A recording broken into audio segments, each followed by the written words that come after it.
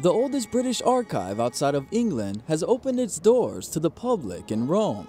For its Memory, Martyrs, and Mission exhibit, the Venerable English College seeks to inspire the future by remembering its nearly 700 year past.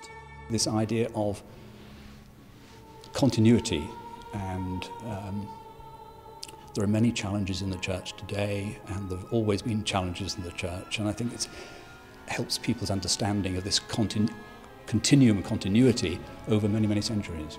The college was founded as a hospice in the mid 14th century before being converted into a residence for seminarians, as it remains today. The institution provided a safe haven for Catholic English and Welsh students fleeing religious persecution in their homeland. As indicated in the name of the exhibit, many who returned paid the ultimate price for their faith. Thus, the exposition honors these individuals and their peers who courageously practiced their faith.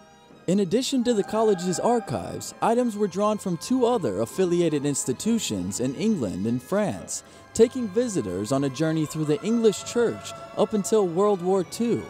These pieces of jigsaw, I could call them like this, when locked together and brought together for the first time in, or first time ever in some cases, or reunited after more than 200 years, show a much bigger picture, much clearer picture than we've ever been able to understand hitherto. Notable pieces include relics of English martyrs and even the Zucchetto of Pope Benedict XIV, as well as the map of Rome he commissioned in the mid 1700s. While most visitors are seeing these items for the first time, each new student at the college is given a tour of the archives to be informed on the roots of the church's mission before moving it forward.